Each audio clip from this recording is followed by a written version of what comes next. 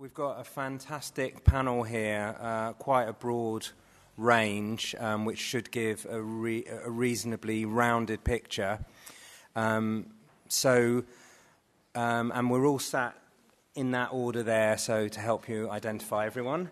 Um, so let me just whip along the line. So we've got um, Lindsay Crouse from um, New York Times, uh, where she is the coordinating producer um, of their short form documentaries. Um, next to me is Naz Haque from BBC Three, where she's commissioning editor for short form.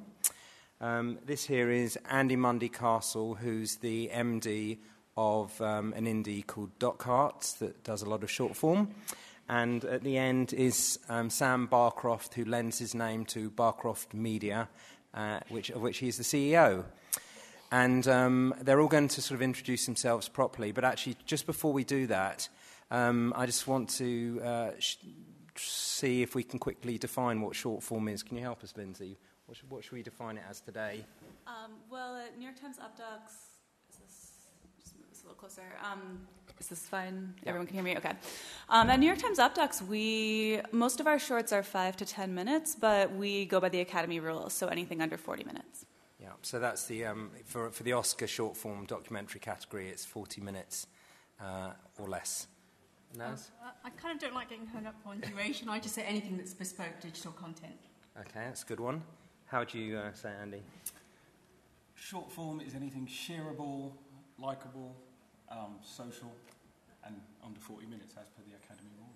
Good. Okay, and Sam, anything to add? You- You've got the raw end of the deal here. Not really. I suppose it's anything I like as long as it's serving its purpose at the time. So uh, I think the best thing about uh, the idea of short form is it's not long form. Okay, good. well, that that will um, you know that gives you various sort of angles into um, into that question. Um, so fundamentally, uh, from uh, anything from 40 minutes of uh, academy um, entry to 6.5 seconds of a vine and everything in between, um, but not just about duration. Um, so we'll work our way down the table from here, but everyone's just going to introduce themselves and just show you a little clip so that you can get a feel for their um, output. So we'll start with Lindsay.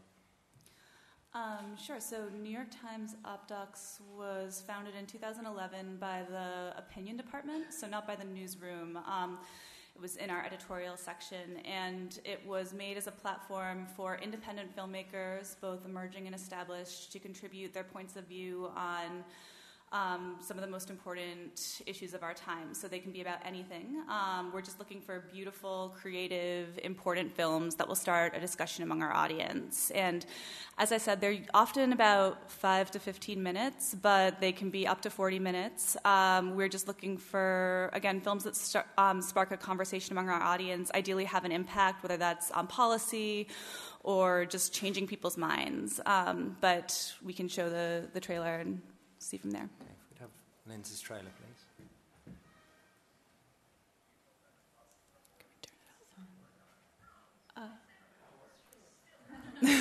Hang on, I think we'll um, Not Whoops.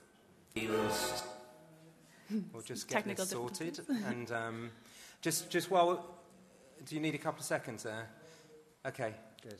Um, I mean, one- thing just before we um, come back to that, just it's worth saying that it's been quite a big year um, in short form this year. Um, some some important things have shifted. Um, amongst them are that there are short form players that have direct relationships with their audience. There's also short form players that are doing um, co production deals with international distributors, Sam being one of them, so he could talk a little about that. There are um, indies that are commissioning um, their own original content. And of course, all the time, the broadcasters continue to commission um, short form. The large media organisations and newspapers continue to commission it, and so do um, a number of brands. So things have made quite some progress this year, and um, new um, paradigms are, are emerging. Um, how are we doing on the video front? We good to go? Let's go.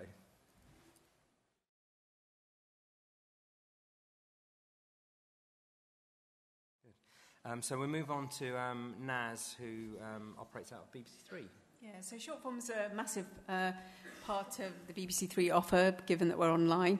Um, we work across uh, YouTube, iPlayer, Facebook, Instagram, and I look after basically it's a cross genre. I don't like to think in genre, but essentially you can commission anything that ranges from entertainment, comedy, factual, factor-ish, or what is known as factor and documentary, really. And, it, and for us, it's really important because it's a pathfinder for young people to the rest of the BBC, and it's about nurturing new talent. So um, it's a massive part of, of the BBC Three offer. Lovely. If we can see Naz's um, clip.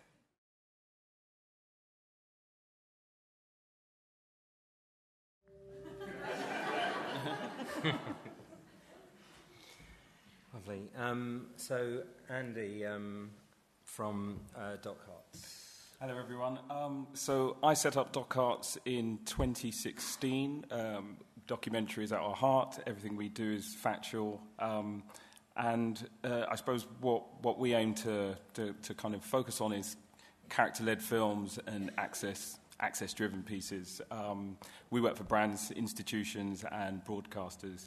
Short form uh, kind of keeps the company going. Really, it's the, it's the lifeblood of the company. So long form commissions are kind of fewer and harder to come by when you're a new indie. So we do exist um, quite largely on the short form work that we, we, we get. You know, that keeps us, keeps us paid and keeps the lights on. So here's a clip.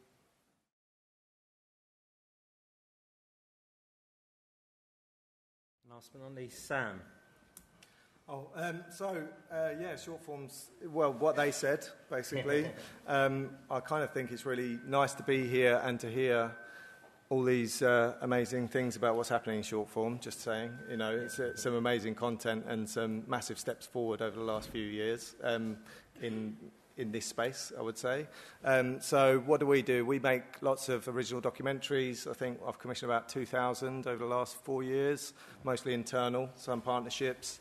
And we're kind of on a mission as a company to inspire the world through amazing true stories.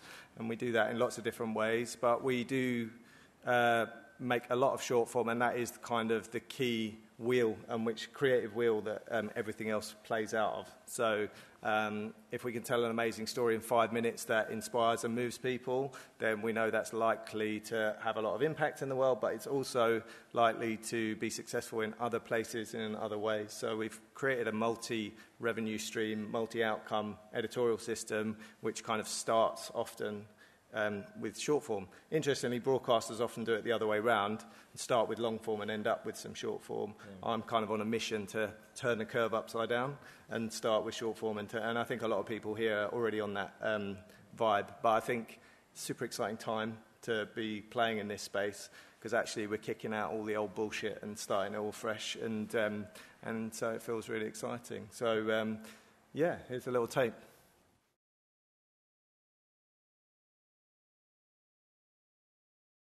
So, Sam, can we just pick up from that and can you explain um, how the economics of short form works within the context of Barcroft? Yes. Um, actually, I'll try and do it. Sorry, yeah, I, sure. Actually, that's the second question I wanted to ask you. The first yeah. one, I just think some people might not be aware. Could you give people a sense of the scale of um, short form uh, through Barcroft? Sure. Um, well, so the scale in terms of reach is um, building all the time. So on YouTube, last month was our most successful month. So we got 131 million views on our main channel last month. So that puts us about number 12 in the UK of all the channels on YouTube, and um, in the top kind of 300 in the world. And so there's a lot of reach on YouTube. We kind of did about 200 million on Facebook last month on Facebook Watch. So we've launched 13 series on Facebook Watch now. And so we're reaching a lot of people via those platforms and Weibo in China, lots of other places like MSN and Yahoo. So we've grown this distribution network, which is really good. And what we power that with is our original content, plus some content from distributors. Because interestingly, TV companies want to get a bit of the advertising revenue that we can find online. Um, and uh, so the model works in a way that we essentially fund our own uh, content, and then we find lots of different ways of making little bits of money out of it. Mm-hmm. And so the reason you saw the Netflix sign on there and the BBC and the Channel 4 sign is we use the originals we make each week, which is only five films, mm-hmm. so it's not like 105 films. I think uh, people like BBC Three and New York Times will do significantly more amount of content than that sometimes. Um, but what we've worked out is that if we make content that feels universal and interesting to broader audiences, that we reach a lot more people. And so we have a team who come up with ideas every week. Um, we make as many of them as we can afford to make, and then we slowly turn them into series. And if we think they're really good, we pitch them into long form, as Andy was saying. And if we think they're really good, they um, then turn into series brands, which we then make into TV shows. So we've created a kind of a circular economy, which um, means that we've got our own sandpit at work that we can jump in and um, where we can tell stories that we think are important. And yes, if you go out there and try and produce five professional documentaries a week on YouTube revenue only, you're going to be broke. Um, but I think if you then find out other ways to take advantage of that. So, for example, um, we did a, fil- a few films about people that have amazing living spaces, and then we reimagined that as a teaser for a show about amazing interiors for Netflix, which is now a 12 part Netflix original series. So it shows that um, we're basically funding our cross-funding our development by um, using YouTube as the starting point. And I think that that's a really key thought. And it also enables you to take many more creative risks because no one gives a fuck if you put something up on YouTube and it's rubbish, you know, but they really do on BBC One at nine o'clock, you know. So um, basically, it means you can take many more creative risks, use it as a nursery slope, but also engage loads of people that don't really give a monkeys about what's on telly and don't really find television very easily. Um, and so it's really nice after well, I started that channel in 2008, so we're 10 years into that channel. So um, it's really lovely to see other people surpassing what we do, augmenting what we do, you know, doing their own thing in this space, in, particularly around TV and publishing, uh, because honestly, most of it's been crap up until about five years ago, and then for, it's been little diamonds in the rough. But now, I think, as we can see from the range of this panel, not just this panel, lots of other people, it's kind of a force building. It feels like there's a positive movement in the force. I'm going to get my Ewok outfit on uh, and get involved. Cool. Um, Lynn, uh, uh, uh, can, can you just tell us a, um, a bit about, um, uh, Lindsay, about um, at what stage you tend to engage with filmmakers and what kind of filmmakers you're dealing with? Sure. Um, so we love to work with filmmakers from all around the world. I always say that we're looking for local takes on universal topics. So one thing we're not looking for necessarily is, um, I mean, this could potentially work too, but you know, an American going to India and telling us about what's going on and like on the ground with the Hindu nationalist movement in India, for example, um, or even an American going to England and letting us know about um, Brexit. Uh, we're looking for a, an English person to tell us about that. Um, we're looking for an Indian person to tell us about what's going on in India.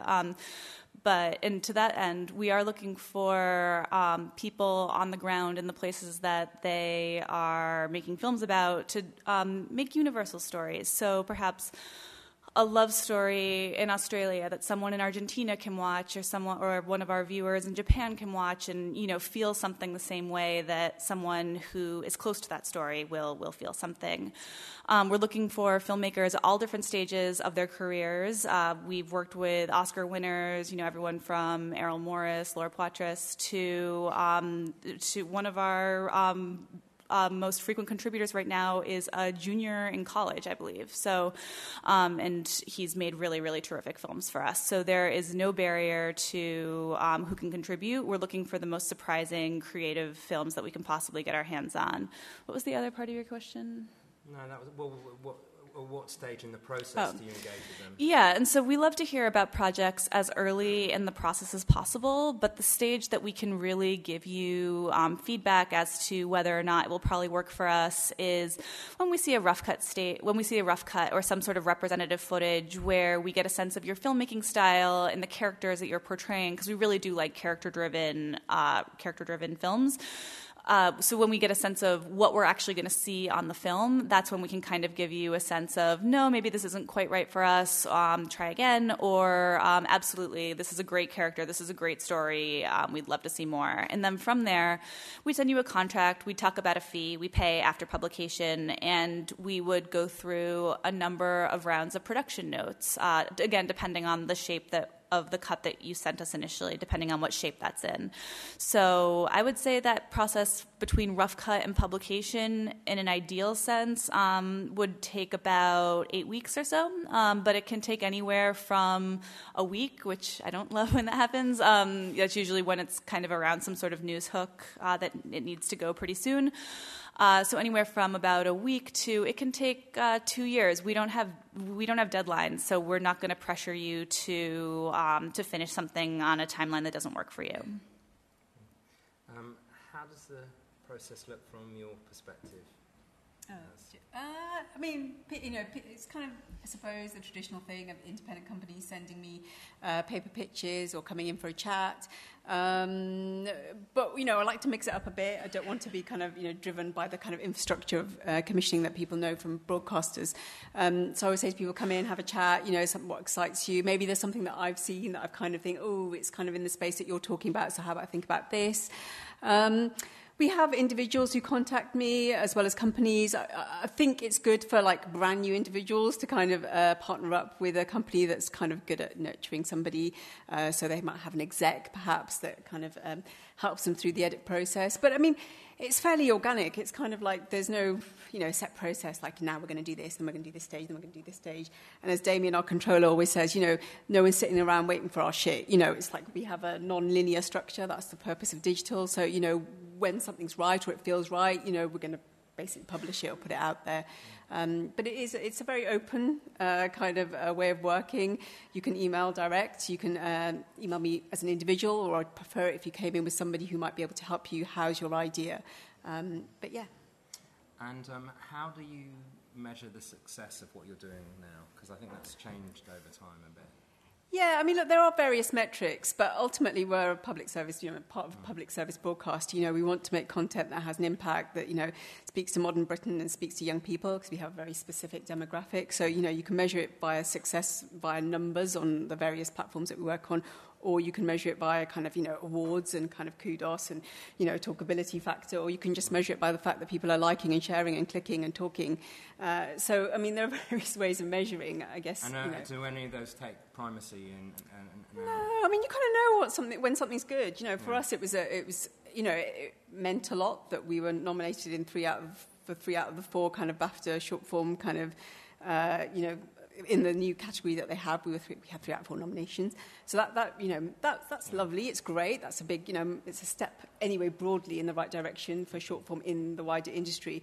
But we know we're not sitting around there like, you know, ticking and, you know, yeah. kind of going, yes, yes, we've hit that target right now because we are a public service broadcaster. We need to make content that says something about Britain and says something about our audience. Sure. I mean, I was thinking more about the um, social dimension. I mean, Sam, um, what do you kind of look for in terms of um, try, you know, ways of measuring the impact of what you're doing, and in particular in terms of engagement? What well, role does that play? That's a good question. Um, I'm addicted to the Studio app on my iPhone. I don't know if anybody else has got that. It's kind of a thing of dread and fear, and also massive cocaine-style joy when the numbers have gone the right way. So, um, if you're on YouTube, I'd download it. It's better than Candy Crush. But I would say, yeah, so there's a lot of numbers and scratching of heads. Uh, our engagement is really high on Facebook, so it's really interesting, and that they feedback to us that they're more bothered about engagement than they are about reach or views. So if someone likes or shares or comments on something, for them that's much more important. But are really, you, that, are you buying that, or I mean, uh, you just said it in a way like you might not be buying it. Well, I think what you have to remember is as a producer, you're always usually making something for somebody else's platform. Mm. And most of us here are doing that every day. And so if you're making something other than Lindsay, we're all really making somebody else happy by doing what we do. So um, if I make something with Naz, if Naz is happy, I've done my job, you know, and hopefully she's happy because our audience is happy and she knows our audience better than I do.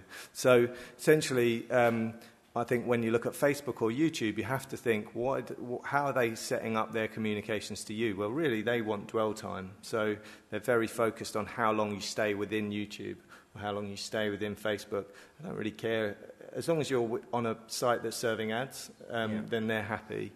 Um, and so that's how fake news happened. That's, is, that's their overriding um, kind of ambition is just to keep you in. Obviously, they've got missions and morals and everything else, but we're from a business case, they just want you to stay there and they want you to see adverts. And so um, I think that my view is it's great when people care about a film you make, and that's what makes me happy in the world. And that can be for good reasons or bad reasons. But um, I think that when we see something that has a lot of engagement, that makes me pleased. And I feel that, a bit like Naz, it's really difficult to know what a success is in short form. You know, you don't win Oscars necessarily. You don't. Um, you don't have the whole world talking about it in the way they once did around television and news. You know, it's become much more difficult to know what's a hit and what isn't uh, because it, the world is so much more diluted and massive than it used to be. So I think it's gut feel these days and, and interaction as a combination. Yeah. So that's a crap answer. No, I don't know, basically, is the answer. um, Andy, when you were sort of uh, saying your definition, you, you were talking about the sort of social dimension of short form. Do you mm. want to say a bit more about your experience of that? In terms of? Um, just in terms of um, the fact that um, it's not just about linear viewing of content, and also, I suppose, the fact that you don't make a piece of short form video mm. without some sort of social strategy around it. Yeah, well, I mean, I think you, you just have to look at that, that holy grail, that audience that, has, that TV has, I suppose, from, from my, my background, is kind of, they've, they've forgotten there's that 16 to 35 age group that is, you know, that we do want to get, get the attention of. And they're constantly like that. It's just swipe, swipe, and they're, they're feeding on that, that, that phone. And you, I think TV kind of lost that audience and I've, in, in many ways. And I feel that... Um, the, the ability to just do something powerful in a short space of time for them to be able to share with their communities or with, with whoever they're, they're speaking to is, has, a, has a very powerful, powerful impact. You know? Mm. Yeah. Um, Sam, I, I just want to go back to what you were talking about before in terms of leveraging short form to make other stuff and mm-hmm. longer form.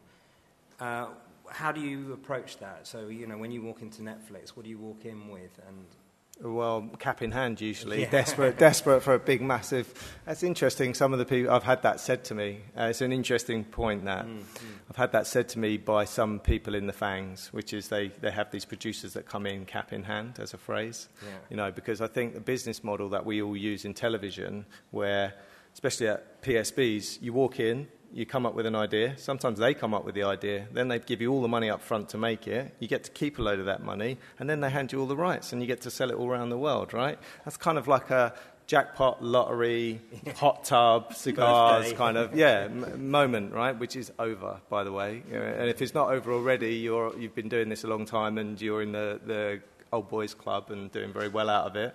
But if you're not in it yet, you'll never be in it. And um, you have to realise that um, it's changed. You know, things have changed. So I feel like. Um, uh, when I go into Netflix, what I like to do is be able to show them a piece of content that I've proven the data on. So I can say that this has caused interest because of that, or I can show that this group of films on our channel, people strongly react to that subject area or that area um, in a positive way or a negative way, it just helps with the sell Because I'm going in with my double glazing, yeah. you know, under one arm, and my watch is in there, and I'm going in desperate to let them, um, to help let them support me to do what I love to do, which is tell stories. So, um, having data to be able to say, look, guys, we made this, and loads of people liked it, and it was really interesting, and it had all these qualitative and quantitative kind of feedbacks it's a bit of a blag, really. But if it gets me to where I want to be, then it's really useful. But so you do you you don't get kind of not invented here syndrome, or you've already done it. It's been done now. Yes, but not from Netflix. So I think Netflix are very, in my experience, pragmatic and data driven and outcomes focused. Yeah. I think definitely in other places you get that feeling that if uh, that people want to take creative ownership of the project that you're working with them on. And I love that. There's nothing better than walking into a meeting and saying I'd love to make a film about castles and they go have you seen this thing on greyhounds? I go yeah love greyhounds. Let's do greyhounds. You know like let's be honest if somebody's going to hand you that work you're going to be able to pay the mortgage you're doing greyhounds all day long you know? So I think that um, you've got you know it's true isn't it? So I think that um, from that perspective I like both ways of doing things. So I like going in with something that's already a thing that we're proud of and being honest and trying to get people to embrace that. But I'm also really happy to go in and have a conversation that's genuinely open minded, where people can essentially show me what they need. Because if I'm making something for them, I'm making something for them, not for me. You know, so, so I've got to kind of get my head around what they want. So um, uh, Netflix are an incredible once in a generation phenomenon, I believe, and um, a, but, and a very interesting bunch of folks. But um, kind of others are very different from them, I would say. Okay. Um, Naz, can you tell us a bit about how you work across different platforms? Yeah, well, we have, um, well, I suppose when at commission stage, we talk about potentially the platform that a piece of content might sit on. So when we worked with Barcroft on an acquisition commission or acquisition, as we call it. Acquisition, yeah, baby, yeah. Um, so, you know, at that stage, we kind of knew that, you know, it, they're YouTube pieces yeah. that could then be cut down for Facebook. So um, we have conversation up front, but, you know, things can change. It's the world of, you know, digital content. Um, and yeah, essentially, we also uh, the channel. So, by the way, I must say, short form spans my slate, which is the independent slate. So, I look after commissions from independent producers, as well as an in house team. We've got a brilliant in house team that sits across London and Birmingham. Um, and also we have some um, short form coming out of some of the genres as well, like current yeah. affairs. So um, I'm just today representing the whole gamut of short form, not yeah. just my slate. Okay. Um, so yeah, uh, we also have a channel team. So we've got um, execs who sit on YouTube, who sit and work across, you know, kind of publica- publishing content to YouTube, Facebook, Instagram, uh, and iPlayer, and so we work with them to try and kind of you know figure out the best way to sort of hone and shape a piece of content for that platform. So some of it happens up front, some of it happens as the edit kind of uh, proceeds, and then some of it happens at the point of delivery, if you like. So um, and how, how, did, how did the BBC um, frame all that kind of activity in terms of not being um, too hung up about everything being on owned and operated channels? Um, I mean, like I can't speak for the BBC. I can only speak for three. I have yeah. to say. I mean, we are what we are. You know, we have our own kind of you know strategy, if you like, and that comes partly from our controller and partly from conversations that we have with the people who help manage our different platforms. I mean, you know, there are conversations around you know how much you put on you know kind of kind of you know Facebook versus iPlayer, if you like. But mm. I mean, for, for me as a commissioner, it's really important that a piece of content kind of um, fits that platform and can be discovered by our audience. That's the most like that's the ultimate thing and that it absolutely has a purpose and a sense of, you know, a sense of worthwhile kind of purpose, if you like, for our audience. That's all I care about. And then I work with whoever is the specialist on that platform to get that, you know, content bespoke for it. So, um, so you, uh, is the content always um, specific for the platform? You don't put the same um, thing into, onto different platforms? It depends on the content. So, for instance, you know, we did, uh, just an example might be Romesh talking to comedians. We've got a short form series that we do. And so for iPlayer, we do kind of, it's a slightly longer 30 minute stitch of the various shorts that exist on Facebook mm. and um, YouTube. So, you know, it depends on the content. That's why short form is such a nebulous thing because, you know, we don't sit there kind of, you know, up front going, yes, it's going to be 25.5, you know, seconds minutes long and it's going to be on this platform. It's going to take eight, eight weeks to get it. You know, mm. we're very much kind of like, let's see how it goes according yeah. to the editorial. And that's the beauty of short form content. So. Okay, lovely. Um, Lindsay, do you tend to, you're, you're pretty much operating entirely off of your own platform, off, off the um, do you ever do you ever feel uh, bursting with a desire to sort of um, break out into the wider online world, or does it work fine for you in that way? Yeah, I mean, it's a bigger negotiation. I imagine at some point you'll see OpDocs, like a package of OpDocs on some other platform um, as a way to reach new audiences. But we do have the advantage, just being the New York Times. Um, all OpDocs are um, premiere on the New York Times homepage, uh, just kind of up at the top right, um, up against the most important breaking news, and so they do get quite a lot of views. Not only from I think we have like some, don't, don't quote me on this, but something like 2.83 million subscribers, like digital subscribers, and then um, obviously, and all all videos are available for free on our site, so they're already reaching a pretty vast group of people. Um, uh, that's pretty international as well. So we're we're satisfied with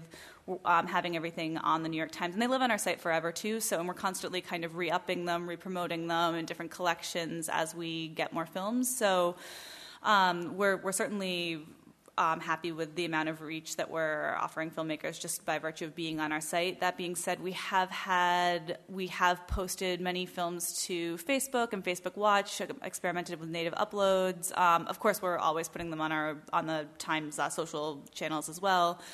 Um, and then we have a pretty robust YouTube strategy ourselves just for reaching a different audience than the sort of obvious Times audience as well. Okay. Um, Andy, can you just tell us a bit more um, about how short form fits into the mix of your business and the role it plays in your sort of business model? So at the moment, it's it's probably it's eighty percent of the business. Um, so we typically we work with agencies who are who who will have clients, and uh, we're, we're we're pitching ideas through them to uh, predominantly for branded content, mm. or yeah, because we're a small team, we um, I've got someone who we employ on a business development front and look, look towards institutions to kind of give them ideas about how they can use factual short form to communicate stories that may be pertinent to, to, the, to the areas that we are special, specialists in, which is predominantly diversity, inclusivity, and equality. So we kind of we look at stra- things that they've got out there on content that they may have, or, or on platforms they have already, but um, ha- what can we bring to the table? And I think that um, you know, there's a series that we're doing with Coventry University at the moment, which is looking at, you know, diversity being a dirty word. And um, that's kind of across, looking at right across the spectrum throughout the university, um, telling stories of students who've, who've got different experiences. And, you know, it kind of, um, it, it's a large, large, large part of our business. It's a, it's a very large part of our business. Um, and have you had any experiences of um, evolving short form into other things yet? Other than with you, no, because I think well, but, the relationship I've got with Adam, I suppose he, he looked. There was an idea that I brought into Channel Four when he was previously there, the Black Lesbian Handbook, and that I suppose has evolved the relationships that, that we've had. That mm. kind of took that when you when when Real Stories were set up through Little Dot Studios, you know, I suppose that it, it's more about that broader sort of. Um, that relationship that's been created, yeah. created really. So short form to long form, I haven't, yeah, been for- was... haven't been fortunate enough to have that yet. Have you had a go yet, um, or not really had the time? And... No, no, but we're working on it. We've pitched a few ideas from the short form things that we've had, but um, I think it's the, the, the, crossover is still still yet to prove fruitful for us. Right. Okay. Cool. Um, Sam, how how international is your business now? Well, um, in terms of our people, we've got um, an office in Hackney and another one in uh, New Delhi in India and another one in Brooklyn in New York. And so, um, so we're kind of internationally focused in terms of our teams. And then uh, most of our money comes from American clients in terms of work, producing content for others. Um, and uh, you know, so therefore, and one of our biggest shows is a Discovery International show. So that's a genuinely global show that plays in a lot of different countries. So um, in terms of UK, you know, uh, BBC Three and what we do with them, and some work for Four and Five is a part of what we do, but it's certainly dwarfed by our global income. And I'd say most of our viewers on social come from, well, 40% roughly come from the US. And so our social viewership is kind of 10% uh, UK. So right. 90% of our social viewership comes from outside the UK, and m- probably a significant proportion of our overall income comes from global. Um, and I think that's a real interesting point. Adam, you're very good at mm. questions that have a lead on, so sorry. um, but I think it's a really interesting thing that we're playing on a language based economy here, not a nation based economy. So essentially, if, you're, if you make films in English, you're playing to people that understand and are interested in English language content globally. Um, if you're playing in uh, Mandarin, you're doing better because you've got more people that speak Mandarin than English. But um, essentially, uh, you need to leverage the global income of short form in a way that you don't necessarily, uh, there's a much uh, richer economy around long form television distribution, which is very nation and window focused. And, and so we try very hard to lean into the English language economy rather than just the British media yeah. economy, um, which make, and I think that other companies are doing the same thing. As you see from our tape, there's a lot of American voices on there. Yeah. Um, but, but that's because. Uh, I think most of our audience is there. And I think that the other thing in kind of new form content is you need to show your audience on screen. Yeah. You know, you need to talk to them in their language about things they care about, because otherwise uh, you're letting yourself down on the potential of what you can do. And I think that all the companies on this uh, stage have done that really well. And I think the more you do that, the more outcomes you get. And one of the big tricks for us is reduce the number of misses after a while because Yeah. you can make mistakes, and mistakes are very helpful. But when you actually get a rich vein of form, you get exponential results in digital. So if you can get those things that work, a bit like TV, you, they're, they're much more powerful than things that don't work, unfortunately. So you need to kind of double down on those. And so, um, what role does um, data play actually editorially with what you do? Um, well, I, I don't. I think it's always got to be a mix of data and editorial intuition.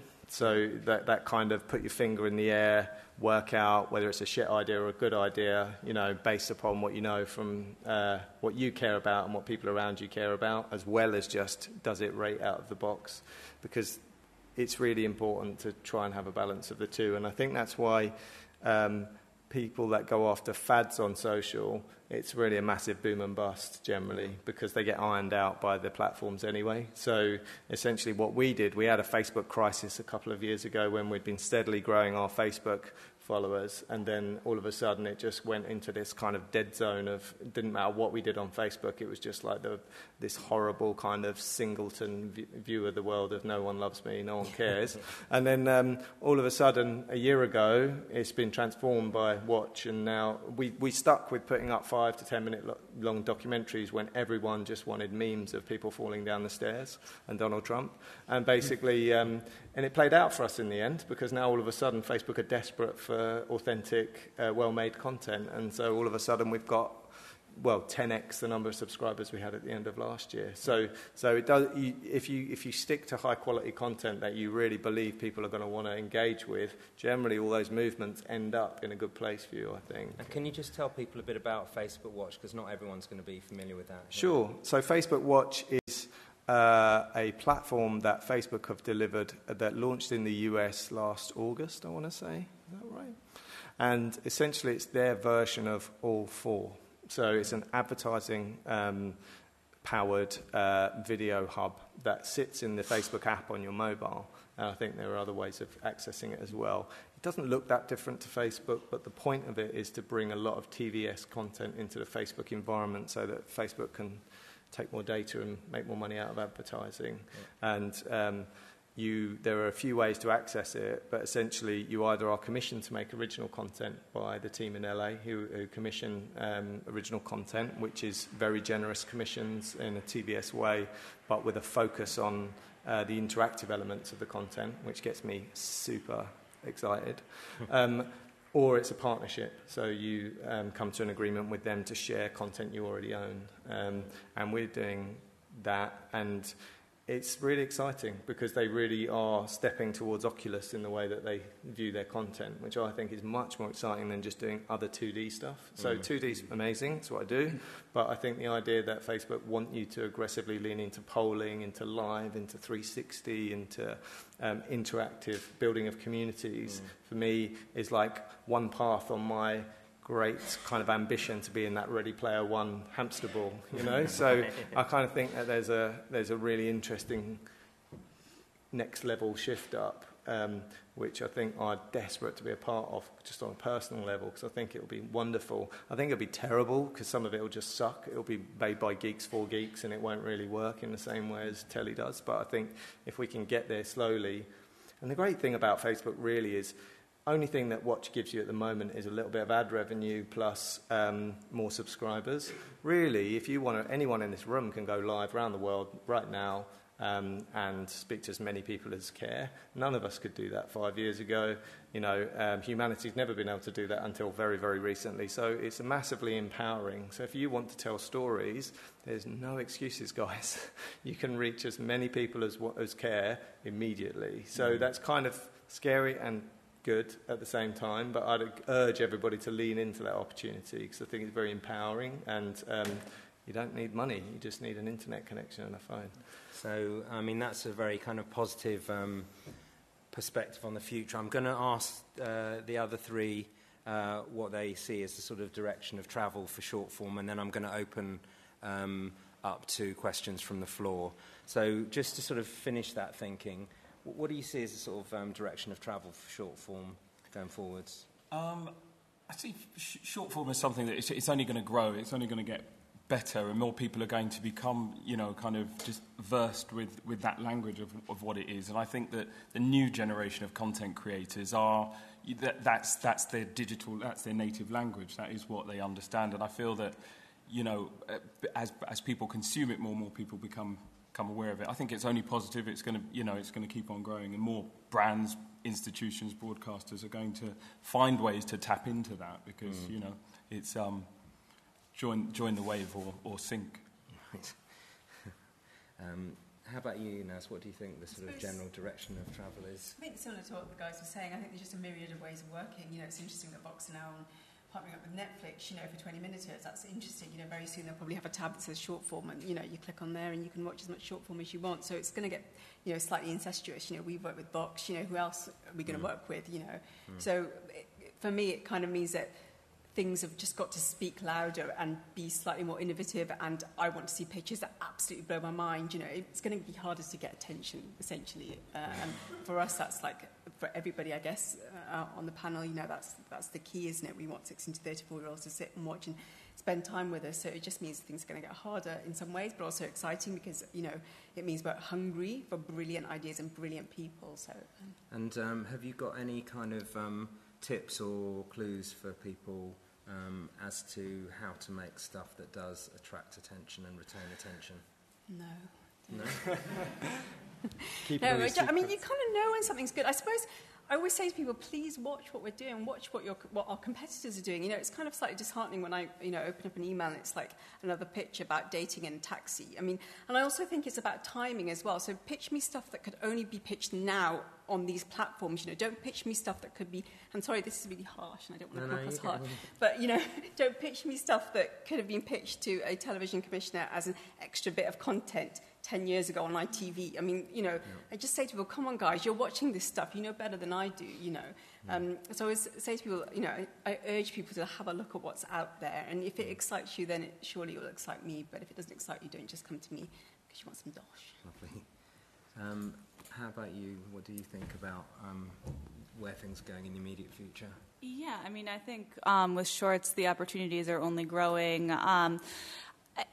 Shorts are a lot harder to make in some ways than features, I think, because you're trying to get to the same point and get the same reaction from a viewer, but in a much shorter, more condensed, and generally more linear format. You know, you can't have a chorus of people saying the same thing. Generally, you've got to have one person, one through storyline um, getting at that thesis. And I think um, when when filmmakers are able to accomplish that, it can arguably be more powerful because there's not the distractions um, that you have time to put into a feature. You know, the, the cinematographic flair um, flourishes that can go in a feature. Um, with a short, you need to get to the point, um, often just through one really powerful character or story, and that's really hard to do.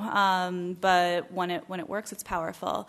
And I think the opportunities are only going to grow. I mean mean, this panel, the things that we would be saying about shorts would be totally different even three years ago. Uh, and I mean, I, I, think just the number when OpDocs was started in 2011, I don't think there was any um, online sort of news platform doing this kind of thing, like short documentaries available online. And now there's quite a few, in addition to these amazing production studios and other uh, other distributors. So it's definitely growing. And then as as you look at just the way that people are consuming content, first of all, there's so much content that shorts are just easier to consume, um, just from a from a limited time perspective, from a limited uh, amount of time that people have to actually watch things and attention spans. But also, as we get into things like self driving cars, what are people going to do during that time? Social media, yes. You know, email, yes. But also watching short short films, like short um, short entertainment. And so the the um, time and venues for watching for consuming this content is only going to get bigger. Uh, very quick question for you, Sam. Um, how long do you reckon you've got um, to um, uh, engage people's attention at the beginning of a short film? Well, if you don't get the headline and the uh, photo right, then you haven't got any time because you missed them already. Yeah. So, um, good point. I think uh, that's the most important thing to not get wrong. Um, and I'd put more time into your headline and your photos. A bit like my daughter, who's 15, does when she's captioning her Insta pictures. Oh my God! Mm.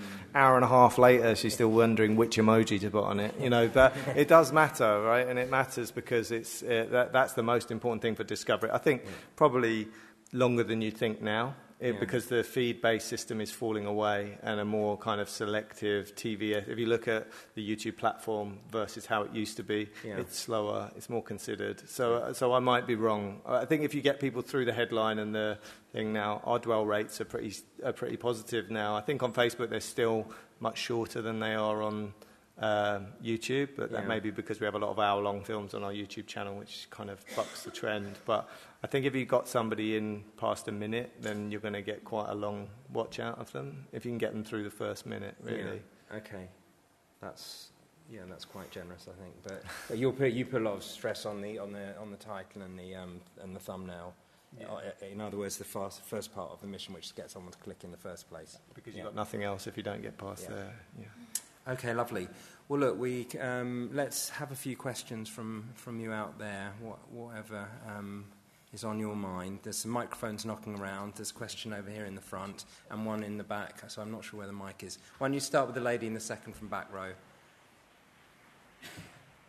Um, thanks very much. Um, given the importance of online um, viewing and, and mobile, um, are you doing vertical videos? Sam, do you do vertical videos? Uh, yes, but not publicly, so no. Um, yeah, I think I think there's a new so so we basically go on audience demand. Obviously, Snap's massive. Not if you're my age because you don't know how to use your phone. When Snapchat comes on, it's like a panic attack moment. but um, but I think if you're under like 30, probably Snapchat's very important. But also Instagram vertical videos coming out now as a professional kind of uh, video hub. So I think basically two means we've got no choice. So if it was only one, we could kind of pretend it wasn't happening. But now Instagram are launching vertical video. I think we have no choice but to do it, which is a massive pain. Do you use square format as well? Not, not really. We kind of belligerently carry on doing things how we think they need to be done uh, mm-hmm. because it co- costs money. Every single part of this process costs money. So if you have to convert something to upright, someone's got to sit there for a mm-hmm. day or maybe even longer making an editorial decisions about how to frame stuff. It's, it's expensive. Have you shot stuff for, for vertical? No, I mean, as a, as a new company, we're still steadying the ship and kind of making sure we, we, we, we, we swim the initial tide. So, no, mm. we haven't got into that yet. Have you done stuff with Snapchat? We've done a bit. I mean, yeah, it depends on the editorial. I've seen a couple of bits um, that we've kind of partnered up and acquired from other parts of the BBC. It just depends on the editorial, you know, yeah. what the story is, basically. I mean, I'm not averse, I'm happy to try anything, but... Um, Fair enough. And, uh, and yeah, we, we recut stuff for Vertical. Um, we recut all I, most of our OpDocs, and they go on just for Snapchat. Yeah. Okay. So you're recutting other content, basically. Yeah. We don't. We it's don't not make native it, vertical. No. Okay. Cool. Um, the lady at the front here, please. Hi,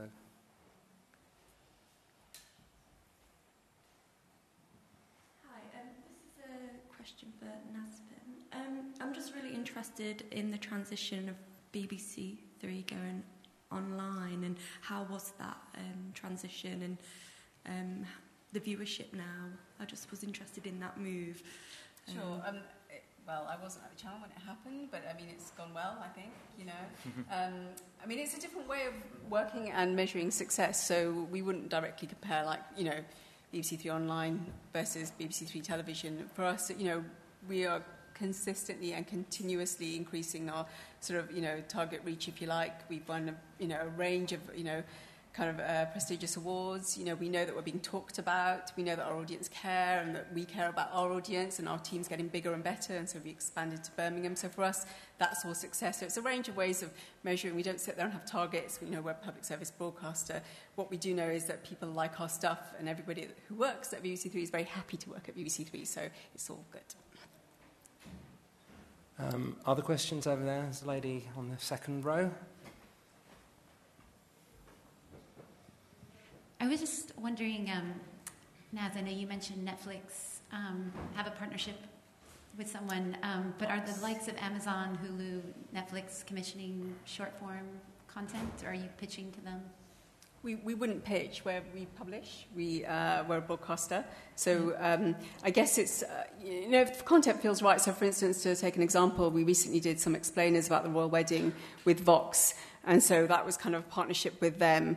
Um, so, where we would, my uh, remit is to commission content uh, for our platforms essentially that may, you know, as we did with Barcroft, we worked on a partnership whereby we commissioned content from them, but then they had a rights window thereafter. So um, I wouldn't, you know, it just depends. You know, we haven't had those conversations. So, uh, yeah. So.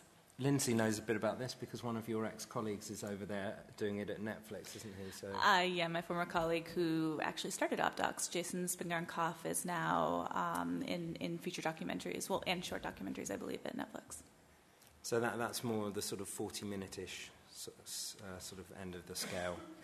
Okay, so they are taking shorter content. Yeah. Okay. Uh, any other questions? Yes, there's um, a gentleman at the back with glasses and then another um, gentleman behind. Now, As you just mentioned um, rights windows, I just, I just to all the panel actually. So traditionally, obviously, if it's AVOD, you imagine that once it's out, it's out. But are you finding that there's a model emerging where you can put it out for free and then take it down and then do something else with it and exploit the rights in a different way? I don't know enough about these things. We've got a bespoke uh, rights person, you can speak to him. But I mean, look, there are various ways of working, and certainly the ways that we work at the UC changes. But we do have a, there's a wider digital kind of producers kind of uh, guidelines, and I would urge you and refer you to there if you like, but I don't know enough about Can it. Can I talk about yeah, that? Yeah, Sam's good. This yeah. is Sam's sort of. so this is where it does get boring again. So anyone's got a sleeping bag, roll it up. But um, I would say it's a brilliant point. I think the economy of digital originals is a really rich one. It's not quite um, worked itself out yet, but it is becoming better and better. So if you take a show and you make it with Snapchat in mind, and you can do a deal with Snapchat, then they have it for a window, and then and this is bearing in mind you spend your own money to make the film, just to put that at the top, okay? If you spend your own money to make a film, so if I did one about my favourite cat, and um, basically, Snapchat thought that's a brilliant show, Sam's Cat, let's do it. 10 eps, please. Um, as long as I've spent the money on it, basically, I retain all the IP, right? So it's my choice where it goes, and it's my choice what rights I assign to it. And if people are interested in having that content on their platform, then they have to do a deal with me. So, very different. And this is where I want to turn the TV curve upside down and say, if you make it yourself, it's up to you what you do with it. So, it's a bit more of an indie filmmaker approach, maybe. So, we will do deals with people where we have multiple income from the same content. And I've got shows where um, we start with a, an idea that then becomes might be a TV show, might give us a number of single documentaries from the same strand. It might give us um, a uh, first window on a platform, it might then give us clip sales, and then we might even reversion it at the end back up into 30 minute episodes and sell it by a distributor. So, one series, digital series, we might find five or six ways to make money out of it as long as we retain the IP at the top. Now, in that kind of golden days model where um, you go and see Naz, she says, Oh, I love that idea about your cat, Sam, right? I'm going to pay you, but I'm going to keep it then that's a decision we take all the time. We go, do you know what? I'm so desperate to make this film about cats. I haven't eaten for a week. I'm in, right? And then we go and do it. So there's nothing wrong with that, and that's absolutely fine and a great way of doing things. But if you make it and you own it, then you can have a lot of different conversations. I think that's the future of a sustainable production model, um, is doing uh, some of your work for other people and they own it and keep it and do what they like with it, and then some of your work for yourself that you own and can exploit in a different way. And I think if you can combine those two, you get quite a robust business out of it as a freelance or as a company potentially. And I would encourage people to think about trying to do both those things as a mix. Um, yeah, I hope that answers the question. Yeah. Um, lovely. Um, the gentleman behind, in the, I think that's the back row there. Yeah. Hey, um, I was wondering if uh, any of you on the panel have particular examples of really sort of mind blowing work that use short form particularly well, perhaps that couldn't have been done previously. Um, well, should we work our way down? So.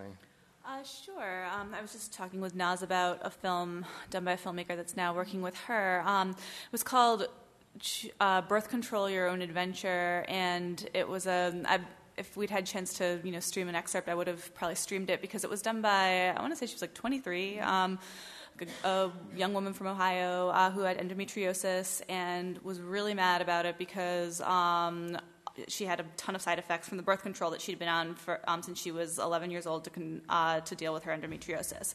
And so that alone could be an interesting topic. It's been done a lot. Um, and I'm not sure that from that pitch on paper, I would have been like, oh, yeah, we need to have this. Um, however, the way that she did it was extraordinary. She, um, and I highly recommend watching it. It's like a five minute film with an incredibly articulate and somehow also poetic and really funny rant um, about her experience experiences over the years, done in kind of this like I don't know if you remember the um, the book. Some of you, it sounds like it was nothing in England, but it was called Choose Your Own Adventure. Um, so the VO was very very interesting and intriguing, and I still remember parts of it. But then the visuals were just um, like we couldn't pick a still for it uh, because it was just it, it was just so visually creative and kind of unlike a lot of things that we'd ever really seen before, using objects to somehow evoke her already really um, evocative language.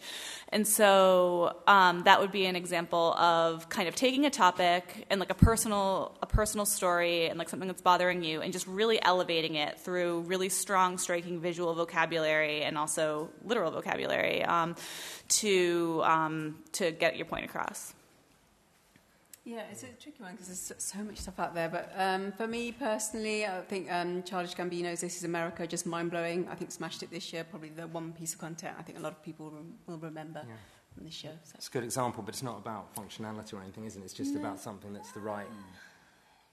Yeah, what do you mean? Well, it, it, I mean, it's only about functionality to the degree that it's a social thing.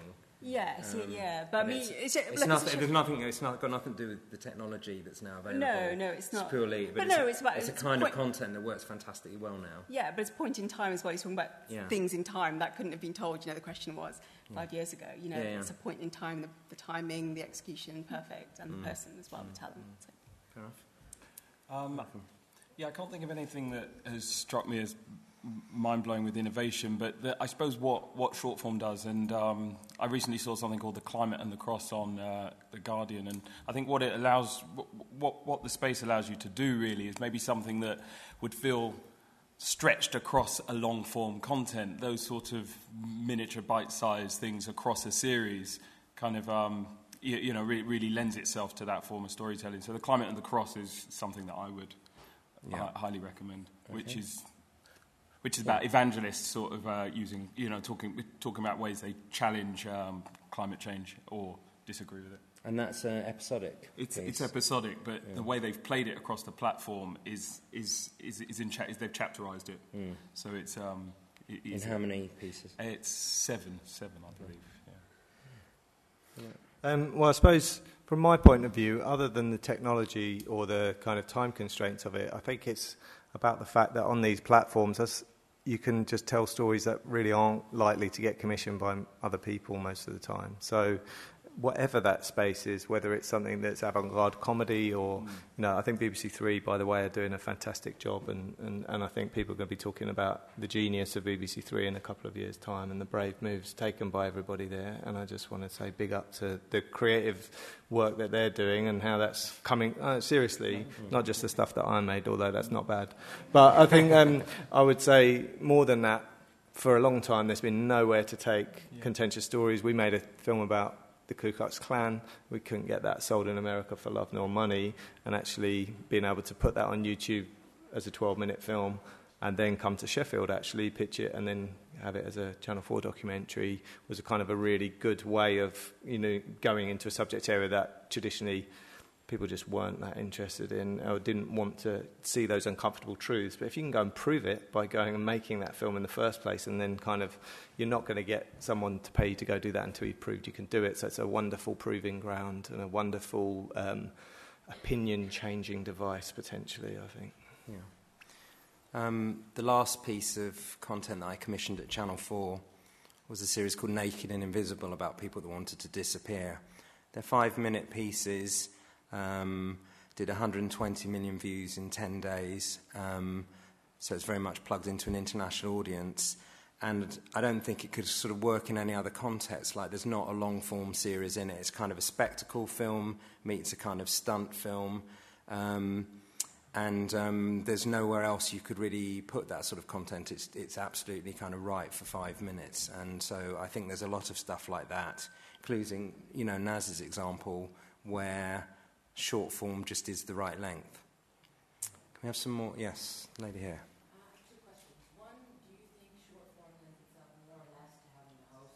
I think, let me, let's get your um, microphone just so that people at the back can hear. Yeah. So go, go again, so, please. Um, yes, question one. Do you think short form lends itself more or less to having a host slash talent? Um, is it necessary or is it less necessary? In your experience, how have you found that? And the second is to do with language barrier. You mentioned, um, uh, Sam, about English uh, and, and, sort of tapping in more to the English language, so that opens up more avenues. But if you are after um, universal themes and just great content, um, is there a language barrier? Are you open and looking uh, for things that are made uh, globally, internationally, but that aren't in English? And are there any barriers to that that you found, and how do you overcome it? Okay, lovely. Uh, who wants to have a go at that? So first of all, presenter-led stuff. Do you use presenters a lot in your? Uh, we we do not. Um, we have in the opinion section we have a new initiative called Opinion Video that's um, a little bit more off the news and kind of news driven, and we're toying with that idea, but we don't have anyone like that right now. Uh, OpDocs is do- documentaries, like short films that are kind of festival oriented. Uh, so uh, they wouldn't lend themselves to a host. Um, Insofar as your second question is concerned, we love films in other languages. We, we subtitle them. Uh, we are planning a film a film series of uh, films about Mexico by Mexican filmmakers. They're obviously all in Spanish. Um, our Spanish-speaking audience, both domestically and internationally, is really important to us. Uh, so we'll subtitle them, those in English as well, of course. But uh, that's that's one example of us kind of making a specific effort to. But we we published another uh, film about a, a, Tamil guy from southern India, I believe, uh, who was in, I think, Singapore. It was called Searching for Wives by a Bhutanese woman who was a film student in Singapore. And um, and he was looking, he was using kind of a traditional service um, of matchmaking service using photos um, to find a wife uh, back from his his uh, native, I think, village back in India, and that was all in his local. I think it was in Tamil. So uh, that, and we really tried to just as Sam was saying that you want to kind of put your audience in the film. We tried we tried really hard to get that in front of uh, people in India that spoke his language to try to get it to take off there. Um, but at the same time, we did feel like it had a universal quality that you didn't need to speak his language to understand what he was going through. It was kind of a perfect microcosm of an international story. So you've got some very BBC Three distinctive hosts. Do they play yeah. a role in short form? I mean, one of the things that we do when, when we talk about short form is um, we leverage long form. So um, we have a lot of long form commissions that still play out on terrestrial television, BBC One and BBC Two. So for instance, we've got Stacey Docs back then. We had Reggie Docs, and so um, some of the in-house short form team they um, recut and reform some of that content for um, digital platforms. So in that instance, yes, you have got a piece of talent like, say, Stacey talking to the women captured by ISIS. Um, I've done a few sort of, you know, uh, original commissions with talent, but it, you know, we like to reflect our audience like everyone else is saying. We want young people's strong stories from straight from the horse's mouth, if you like. Mm. So um, unless the talent's kind of well established or, you know, you kind of know why they're there, it's very hard to introduce. And I've done a bit of it, and it's a bit hit and miss at times. Right, so minority sport. Have you guys worked with um, presenters? Um, I suppose uh, short form, I, uh, you know, the branded content that we've done, we we've, we've made a series for British Airways, and I think what, what they wanted us to do was look at different destinations that they travelled to, but we had to find influencers and thought makers, you know, think, think people in, the, in, those, in those particular places. So, you know, that, I suppose it's people that had so, social currency, and in that case, of course, it really worked for the brand. Um, and, and, and it opens a it opens a pool of talent that is very on you know on TV as well. You know, people who are influencers online that you know will tend to be over, overlooked in in some ways. You you kind of it opens a it opens a gambit for them. You know. Can I just ask you very briefly about um, branded content because we haven't talked much about that. Mm. Have you produced um, any branded content that you would kind of put up there with the rest of the stuff that you make for broadcasters and so forth, where the fact that it happens to be brand funded um, has no impact on the quality? It's a great bit of content in its own right. Um, or is there usually some element yes, of we, compromise in we, we, we did a series for Netflix. It was an online short campaign for the, the series they had called The Get Down. And so we, we did all their social content. And I, I felt that that could, you know, taken across, a, taken across something that was slightly longer, could, it, could have easily made a, a nice long form Yeah. piece or, or, you know, as, as strong a long form piece as, as the short bits that it was serialized into. Yeah. So, um, you know, it was looking at the history of hip hop and, and where that came from, and you know, y- y- using British urban artists and grime artists, as you saw Big Nasty there, sort of where if their influences came from hip hop, and that, you know, I think that could easily have been taken into a long form space as well. But again, as Sam said earlier, if you're being paid to do something, you shut up and get on with it. Um, I think we've only got time for two more questions. So I have that gentleman there in the black T-shirt and um, the, la- the lady with the sunglasses at the back, second row from the back. This uh, short form section, how does it affect the accumulated total number of uh, viewing? So does it steal from the long version documentaries, or Sorry, does it steal from the? uh, long version documentaries? Uh, for example, there is an average worldwide Yeah. at the time people may consume uh, for screening certain uh, material. So in that sense, uh, short stuff bring more and more expansion uh, to the market for screening and the number of viewing per day, for example, uh, in totality. And uh, so if it brings, then National Geography and other type of channels shouldn't vary much. But if the same cake has been shared, you know, by the uh, short protagonists, mm, filmmakers, then uh, I think there should be tougher competition. I think I think it's a new cake. It's a new bigger cake. Um, um, the, the lady at the back.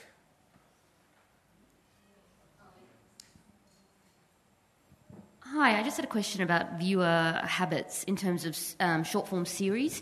Do you think that uh, se- they cut, the audience will come back for serialized content, or do you think that closed episodes work better in this world?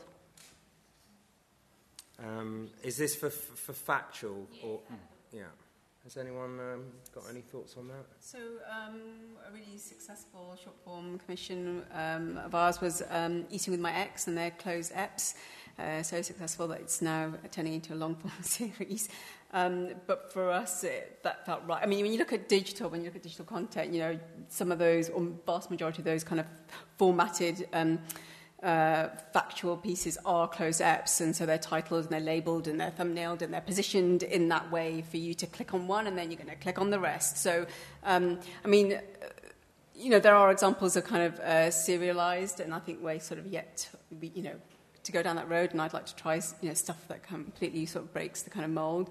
Um, but I mean, at the moment, we're so focused on you know each individual commission. We're looking at how do you best position it so that we get people to series full stop, if you like. You know. Um, just to jump in there, I think absolutely that's kind of got to be the next step, really. I think um, the economy is still a challenged one for most people, and therefore you really need to build brands. Like in a commercial point of view, from a commercial point of view, we've, as I said earlier, launched 13 series on Watch. And what's interesting about the way that Facebook have set up Watch is it's by shows, not by channels. Yeah. And I think the data inside broadcasters that I am privy to says that people care about shows more than channels, um, consumers. And so I think it's really important that all of us, and it's brilliant for young producers or old producer or whoever, because you, can, you don't need a channel, right? You just need a show.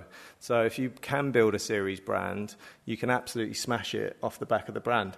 I didn't know who commission, which um, network commission Breaking Bad, but I bloody love Breaking Bad, you know, and I didn't really care either. And I think um, Bake Off has shown that in the UK to great, you know, I hated it when um, Channel 4 bought Bake Off. I was in a huff, uh, you know, for days because I was just like, why are you spending 75 million quid on something that you can already get on BBC One when, you know, but they were right. You know, they were right. They proved that people didn't care whether it was on BBC One or Channel 4. They just wanted to watch the show they loved. So I really believe that absolutely our strategy is build series brands on short form and take them when they're successful, as Naz's show is, and then take them to long form if you possibly can, because that's when you'll start getting the earn back um, for all the hard work you've put in earlier on. Can you just give us an idea, a couple of examples of series that you've developed in that way? Yeah, we titles. Yeah, we developed um, Amazing on the Inside for Netflix that way. Um, what else have we done in series? Well, we're working with a lot of distributors now to where we don't have a commissioner, where we yeah. commission it internally. So uh, we've got a show called Extreme Love, which mm. has um, just been announced that we've done a deal on. That does very well for us. We've got another show called. Um, uh, Ridiculous Rides, which is a car show that's um, now gone out as a TV show. Um, we did Hooked on the Look, that's just sold to Channel 7 in Australia, which didn't have a TV commissioner. We've done six series this year, long form series that haven't had a commissioner commission them, and we've just developed a, an internal economy that means the little bits of money we get via our short form um, add up to enough for us to uh, re up those short form, mid form episodes into half hours or hour long series, and then we sell them. Lovely.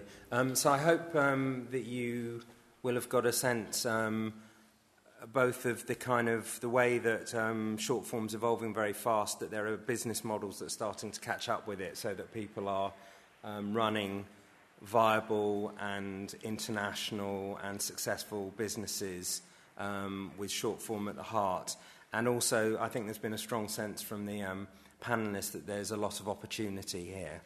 So I'm afraid um, the light is flashing. We have to pack it up now. But if you could just um, show your appreciation for this uh, panel.